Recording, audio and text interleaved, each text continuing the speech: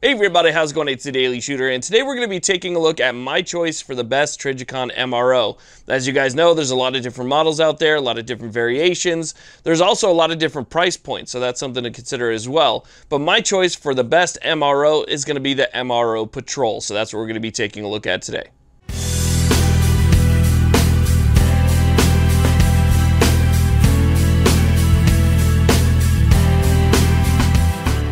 Now, before we get started, in full transparency, this optic was sent to the channel by Optics Planet. They don't care what I say about it, but they did send it out for me to try. So with that being said, you can use my discount code, which is daily. If you guys want links and other discount codes, stuff like that, always check out my website. My website will be linked down below. So I'll put the link directly to this over there since I can't post it here on YouTube. So again, use that discount code daily over to Optics Planet and save yourself a little bit of money.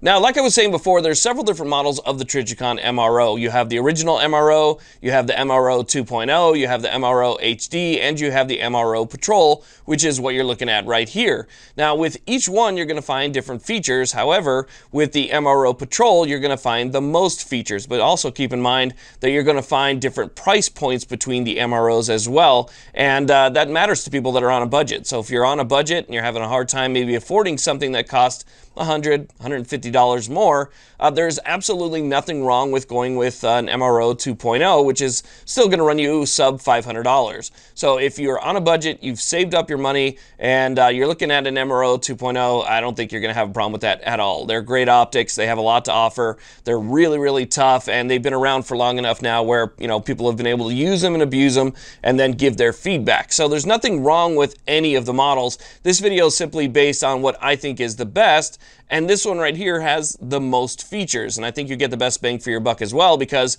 with some of the other MROs like the HD and the 2.0, there's different mounting options and they're aftermarket mounts that have been put on uh, at the factory and they're sold at different price points and they can get really expensive. I mean, I've seen an MRO 2.0 with, uh, I think it was an ADM mount on it and that went for over a thousand dollars almost eleven hundred dollars and most of that was because of the mount. This one right here gives you a really nice mount and gives you a bunch of different features, but still comes in, you know, just over that $600 price point. Uh, there is a model of the Patrol that will put you over 700 bucks, but still that's well under thousand dollars, and you get a great mount that is kind of semi-quick disconnect. So again, we're going to take a look at the features and what you get with the MRO Patrol. Uh, pretty cool little optic here that has a lot to offer. So let's talk about it. Okay, so first things first, let's go ahead and talk about materials. Now, when you're talking about Trijicon, you're usually talking about a pretty tough optic.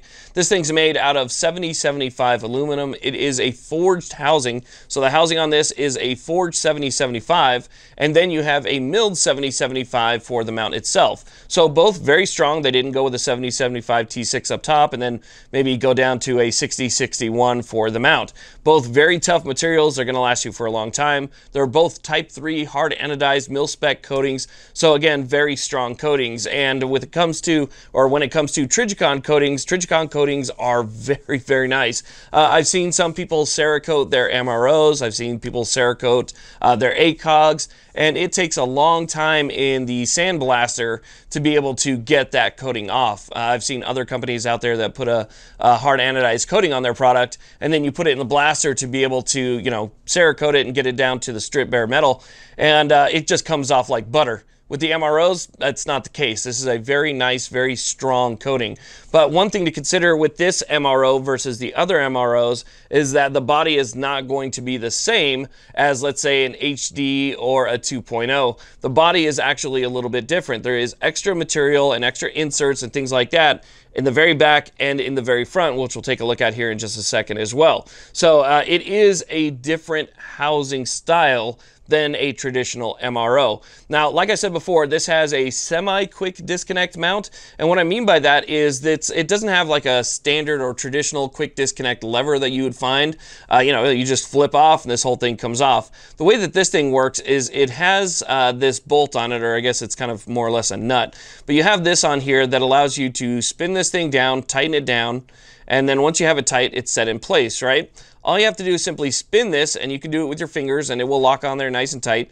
But you spin this to the desired location, and then you go ahead and you push on it, and it allows that bottom to open up. So you can see that it's spring loaded right there, bring it to its complete open position, and it opens up like that. You can take it off the rail, and then when you close it down, it doesn't allow it to push in anymore, so this thing's not going anywhere. It locks on there nice and tight. They use a three bar design on this one, which is a little bit different than a lot of others as well. So typically on a mount like this, you're going to see either a center bar or maybe two bars on the side that are going to index with your rail, uh, and that allows for you know a good re-zero if you have two bars.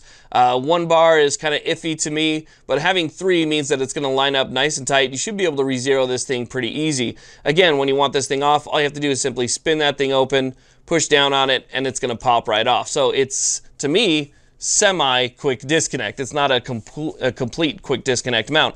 However, it does have some really nice uh, skeletonized, uh, you know, skeleton. Hmm. I don't know if I would say skeletonizing. I don't think that's a word, but you know what I mean. It's nicely skeletonized. How's that? So there's a lot of material that's been removed. It's a fairly lightweight mount, comes in at under two ounces. And uh, with that mater material removed right there, that definitely helps out with that. Uh, this optic with the mount on and all of the accessories, the caps and stuff like that, I think the whole setup is still coming in at maybe around seven ounces. So it's, it's not too bad given the fact that it is a little bit larger than the traditional MRO. Now, things that are similar to a traditional MRO are going to be the battery cap, which is located right up here next to the turn dial for your brightness settings.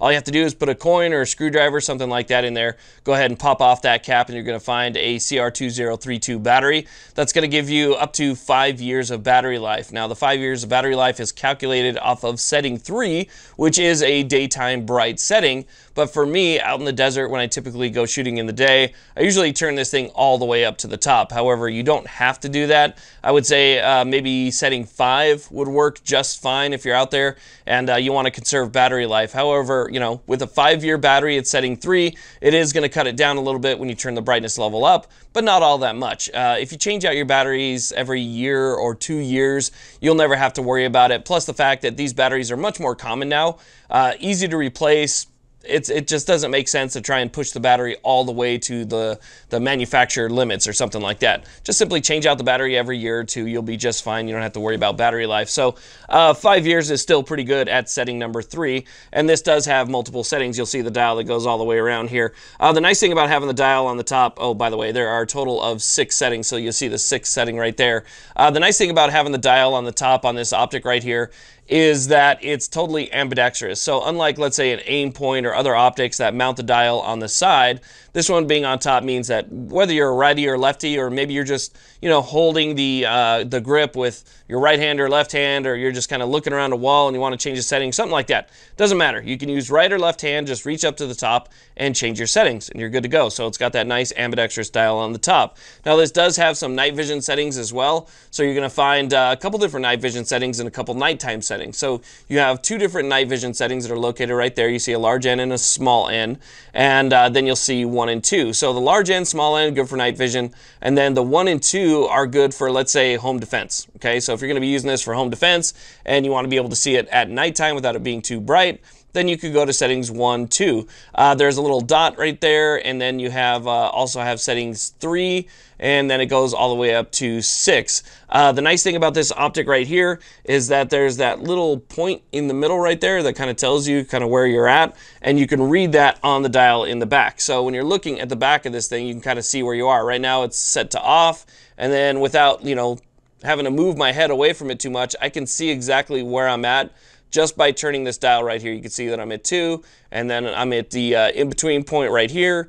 Daytime setting 3, 4, 5, 6, and it's also very, very fast. Now I have it zoomed in, so I'm sorry for kind of shaking around a little bit so you guys can see this, but it's also very fast because unlike pressing a bunch of buttons or, you know, moving around a, a you know, a plus, minus, or something like that, all you have to do if you want to change this down, just takes a second to be able to go all the way down to the off position. So uh, it's very, very fast as well. Now, when it comes to the turrets, those are going to be the same as your tra traditional MRO as well. Uh, and one of my favorite features about this optic is the fact that there's no caps on the turret, which means that you can make adjustments without worrying about losing caps, tethered caps, or anything else. Simply make your adjustment and you're good to go. You can use a screwdriver, you can use uh, the back of a shell or, you, or the back of a case or whatever you want. You can go ahead and make quick adjustments and it's going to retain uh, the ability to be waterproof. So some optics out there uh, will lose the ability to be waterproof if you lose the caps, because there are uh, typically O-rings uh, that are located right be uh, right below the turret. So if you take off the cap, you'll see a little black O-ring,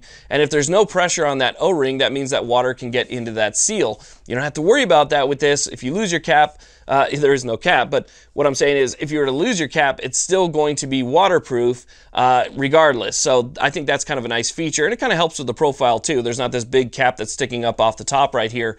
Uh, it's going to be half MOA adjustments, so that's approximately a half inch at 100 yards. Uh, half MOA adjustments.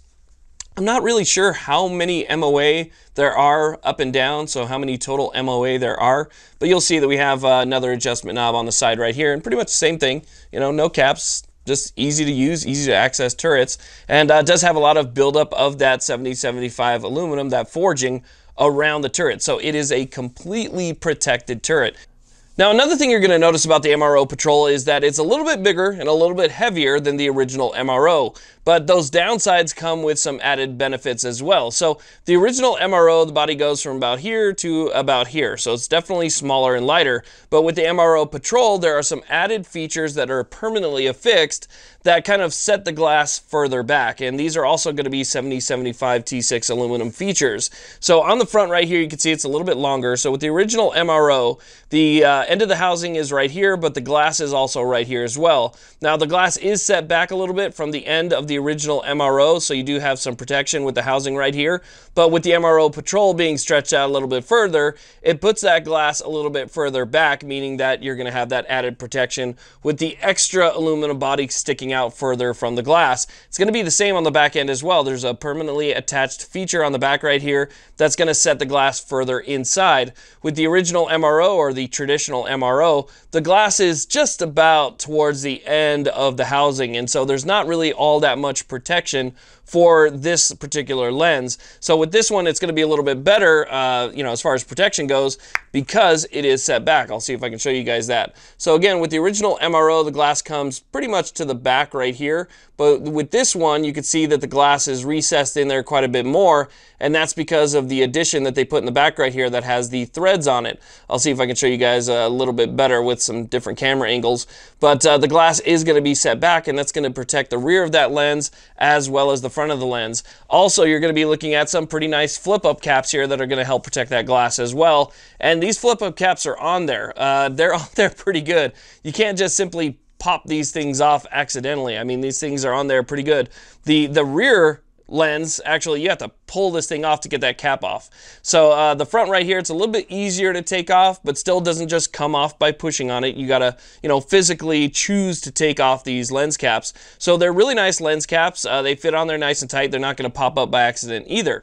Now the front actually has a little extra feature, which is going to be a kill flash. So you can see right here, we have a kill flash that is located on front. That comes with the patrol, so that's going to add a little bit of extra security when you are are looking at something downrange that is trying to look back at you. So if somebody's looking at you downrange and you have a traditional MRO that has that ruby coating on it, uh, this has the same coating that you're going to find on the original MRO, but it has that ruby colored coating on it that makes a pretty good reflection downrange. So if the sun's hitting it just right or ambient light is just hitting it just right, you're going to be able to see that flash downrange. Uh, also with the emitter, we're talking about a red dot that's emitting uh, a projection onto the glass, and you might be able to see that emitter as well, especially if they're using night vision, right? So if you're using night vision, that emitter is going to glow. Uh, the kill flash is going to help reduce that, and this one has a pretty fine kill flash on it as well. It is um, a kill flash that I'd say the honeycomb is definitely a lot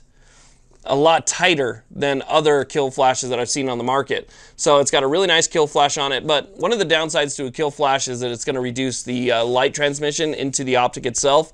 So you're going to see a little bit more dim um, but I don't think that's really that big of a deal. It's just a little bit more dim. If you're slightly off, I mean, if you don't have your head directly behind it, it's going to affect it more. But if you have your head directly behind it, you'll look right through that kill flash like it's nothing. Now, I know a lot of people are going to make comparisons between this and, let's say, the Aimpoint Pro. They're both called patrol rifle optics by their respective companies, but they are definitely different. They fall in the same category. They both project a, a single red dot. Uh, but this one right here is smaller, it's more compact, and it's less bulky than an Aimpoint Pro. An Aimpoint Pro, if you know about the Aimpoint Pro, it's got kind of like a riser mount for a scope. So it kind of holds it the same way that you would hold a scope over its body and then it has a large knob towards the bottom right here. So uh, a lot like this one, it uses kind of a what I would again call a semi-quick disconnect mount. The Aimpoint Pro has this really large knob that's located at the bottom of the mount. You would just go ahead and tighten that thing down and kind of ratchets into place, and then it locks itself into place so it's not going anywhere. But it is kind of a large and bulky mount. So this is a, a much smaller, much lighter, and more compact package.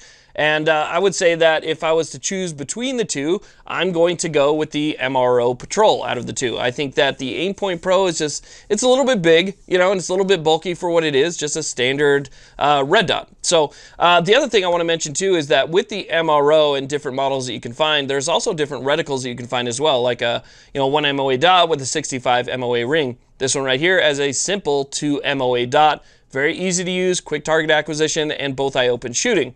So you're going to hear a lot of people say that, uh, you know, you get a better field of view out of this optic right here because it has the larger objective lens. Uh, and so when you see, you know, you look through it, you get a larger field of view. But if you're shooting with both eyes open anyway, that's not really that much of a difference. Uh, but you do lose that tubular effect that you would with, let's say, like an Aimpoint T1 or, you know, a smaller tubular optic. So when you're shooting with both eyes open, you don't have that tube effect out of the one eye. It does give you that wide wider field of view. So when your both eyes are open, uh, you're just basically looking down range. You just have to superimpose that red dot onto whatever your target is. So uh, it's definitely a nice optic and it has a lot of great features. And it's a super, super tough optic as well. I mean, these things are... Uh, it's about as tough as you're going to get out of a little red dot. Let's just say that. I mean, if you were to search the market for a small, compact, patrol style optic like this and a red dot, I'm not sure that you're going to find one that's any tougher than the Trijicon MRO Patrol. They're just great optics. So again, if you guys are interested in checking this out, you can always uh, use my discount code or check out my website. You'll find all the discount codes, links, and stuff like that over there so that you can find this stuff uh, easily and save yourself a little bit of money. So again, I want to thank uh, Optics Planet for sending this out. I want to thank the Firearms Policy Coalition for helping to support the channel and for fighting for our Second Amendment rights. Make sure you guys go down there and you click on the link for the USCCA and become a member and get yourself some peace of mind because again, they will defend you if you have to defend yourself. So definitely worth having. Anyway, thank you all very much for watching. Please like, subscribe, and have a great day.